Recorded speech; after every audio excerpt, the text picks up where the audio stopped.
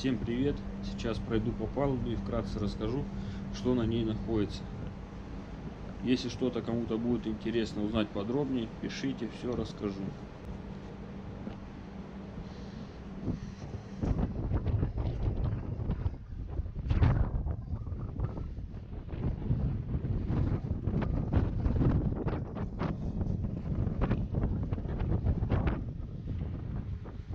Это помповое отделение. Я думаю, потом сделаю более подробный обзор про него.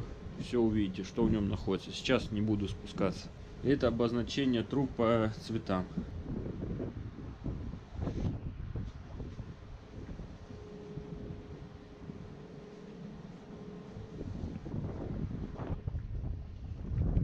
Это дексил. Служит он для предотвращения поступления газов назад по системе инертного газа в машинное отделение.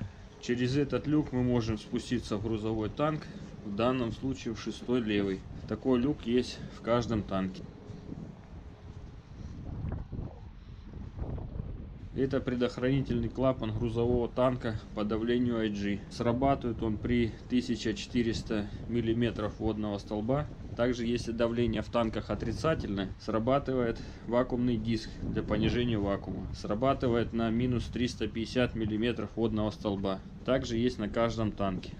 Во время шторма, чтобы моряка не унесло за борт, он должен ходить за этими леерными ограждениями. Эта кабинка нужна, чтобы моряк смог спрятаться от волны. Это у нас пожарная пушка, либо монитор. Через нее у нас поступает вода. И если мы активируем систему пенотушения, то через эти мониторы будет поступать пена.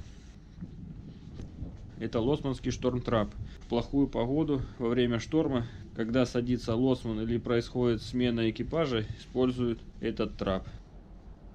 Это обычный трап, им пользуются в нормальную погоду или во время стоянки в порту. Если его использовать во время шторма, то его просто разобьет волной. Это центр танкера, мидшип называется. Здесь у нас находятся манифолды. По этим манифолдам мы выгружаем или загружаем пароход и принимаем топливо. Прием топлива называется бункеровкой. Подходит бункерная баржа, пришланговываемся и они бункеруют пароход.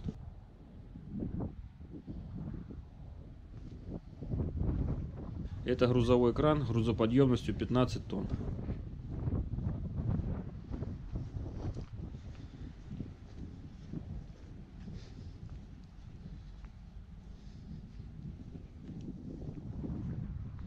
Это запасной якорь. За мою карьеру один раз мы теряли якорь. Вес якоря примерно около 10 тонн.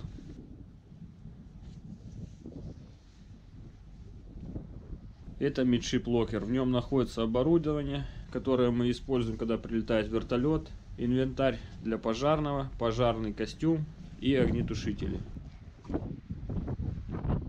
Через этот люк мы можем спуститься в балластный танк.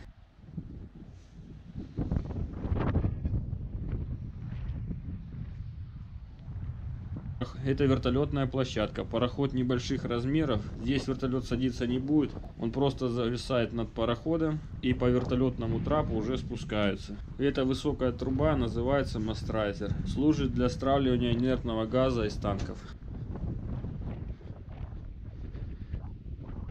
Это воздушные грибки балластных танков.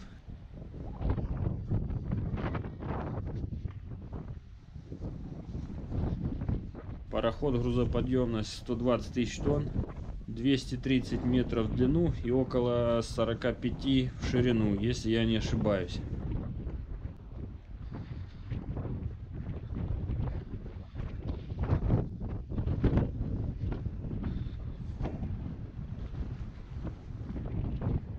Это кнехт. Кнехт служит для набрасывания или фиксирования швартовного конца. Это швартовные клюзы, через которые пропускают швартовные концы.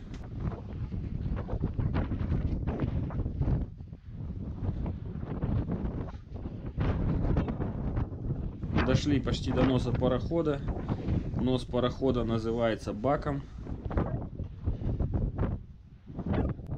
И это боцманское помещение, или как его еще называют, полубак. Это швартовные лебедки, якорное устройство. Якорное устройство называется брашпилем.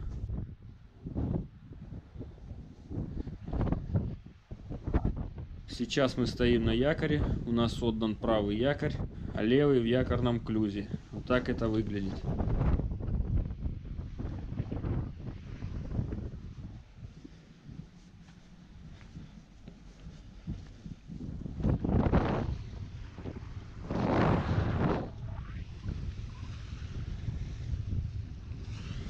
Сейчас стоим на рейде в Роттердаме. На рейде это значит, когда стоим на якоре в море и ждем очереди на погрузку или выгрузку. В данном случае на выгрузку мы сейчас стоим с грузом.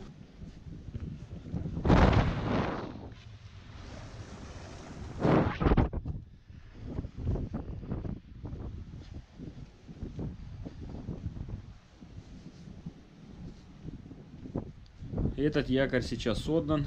Так это выглядит.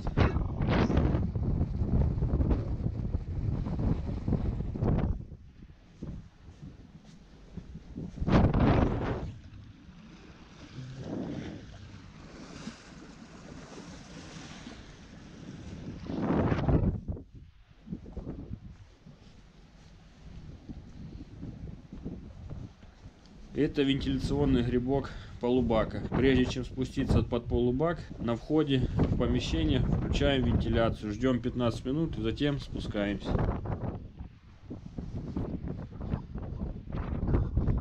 Это швартовная лебедка.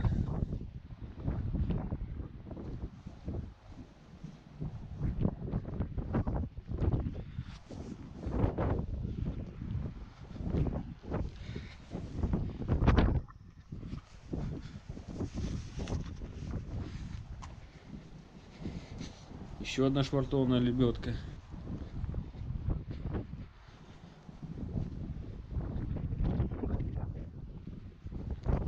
Пароход корейской постройки, ледового класса.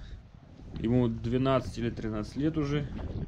Каждые 5 лет пароход ставит драйдок, производит пятилетний ремонт и полностью красят.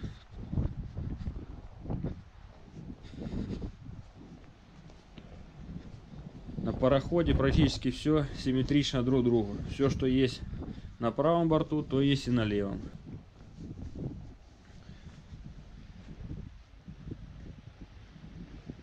В этом помещении у нас находится инвентарь, который мы используем при розливе нефти и огнетушители.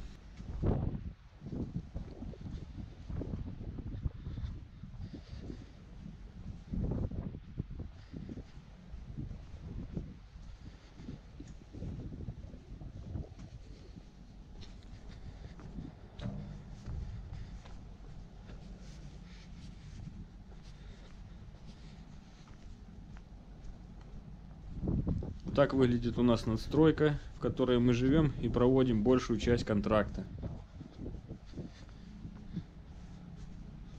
Потом сделаю обзор всех палуб и помещений. Увидите все, что там находится.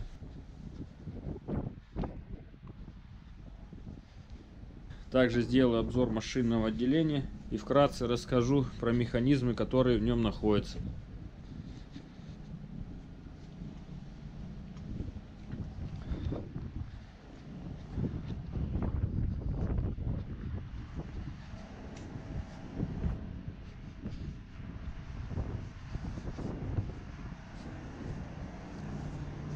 Это у нас спасательная шлюпка.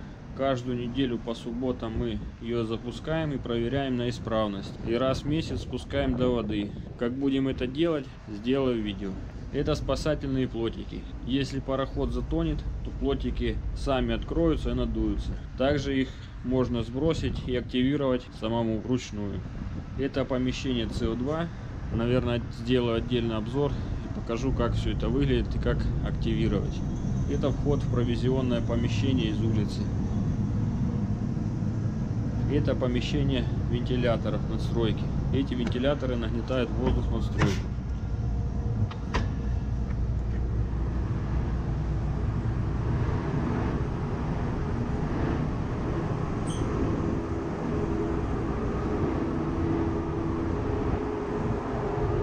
вентиляторы находятся внутри этих термотанков.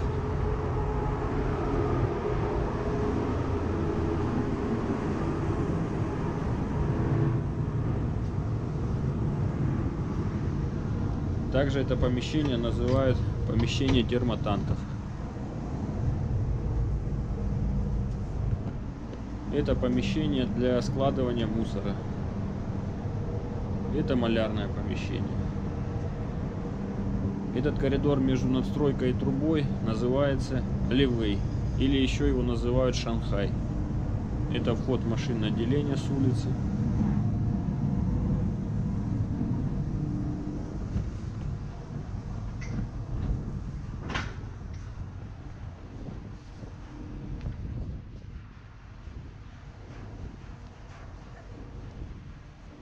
Это провизионный кран. Когда привозят продукты, либо какое-нибудь снабжение, мы его используем. Это зад парохода. Зад парохода называется корма. Здесь у нас располагается помещение с баллонами ацетилена и кислорода для газовой сварки. Вход в рулевое помещение.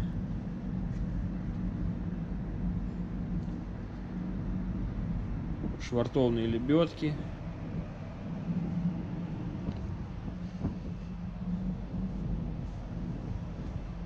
И буксировочный трос. Сзади на борту пишется название парохода, порт приписки и номер парохода.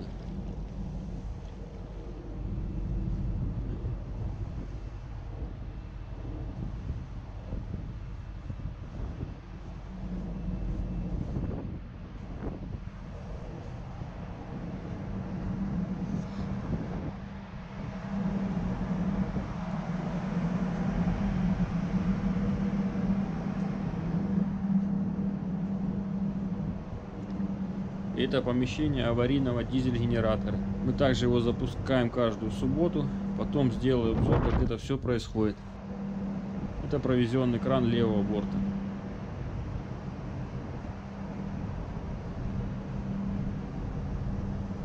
Также два спасательных плотика и спасательная шлюпка.